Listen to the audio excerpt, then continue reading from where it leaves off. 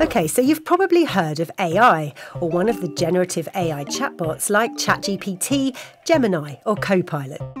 You may even have had a go at using one, found it freakily fast and pretty convincing. But do you wonder how it works and what it's doing with your data? So, how can you use AI to improve your life, and what do you need to look out for?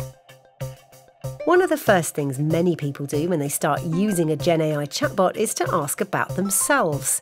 You might type in a prompt like, This could be a good thing to try out because it gives you a quick answer you can easily check. And pretty often you'll find there are a few weird mistakes or conflations where it's decided you're still in your old job or a hobby you gave up years ago is still listed as a current interest. If your summary is bang on, try asking it about a family member or friend.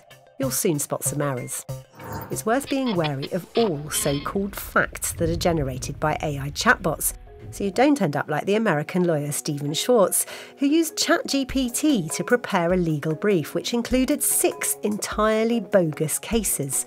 It's fair to say the judge was not impressed. What chatbots can do pretty well is turning facts that you give it into an email, bullet points, or a summary. Got to write up minutes from a meeting?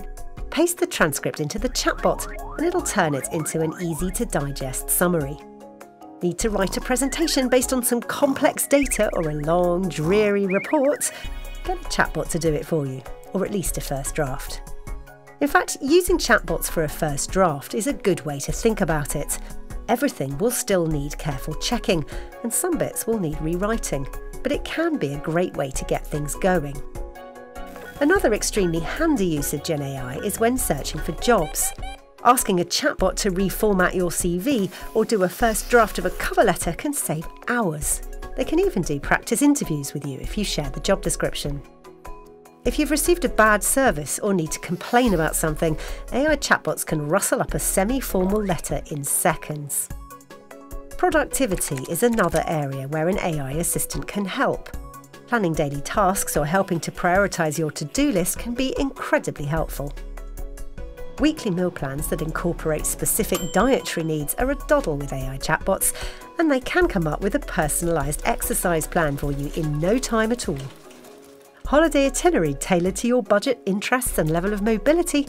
Easy. Design a wedding invitation inspired by your favourite movie? Not a problem planting plan for your north facing garden with a surfeit of slugs?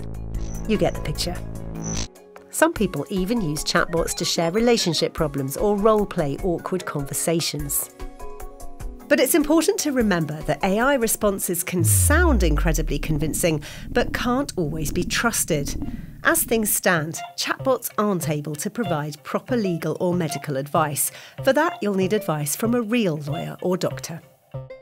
Something else to bear in mind whatever data you input into the chatbot is stored and could be used by the company that owns it. This is particularly important if you're using AI chatbots at work.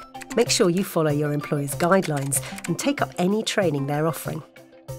Every time you input data about yourself, you're essentially giving it away. The AI is using your personal data to train its systems, and unless it's been explicitly ruled out in the terms and conditions, the company could share your data with third parties. What if entering data about your personal health problems was then shared with insurance companies or medical providers?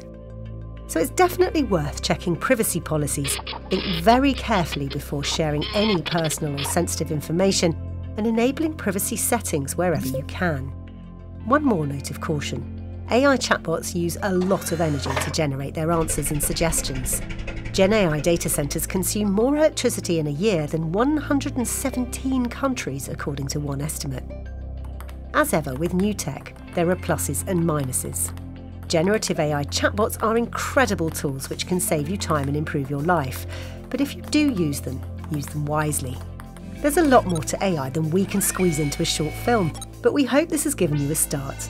Watch the other films in this series to learn more about how to have a better relationship with a chatbot, how to avoid AI scams, and how Gen AI can be used for learning.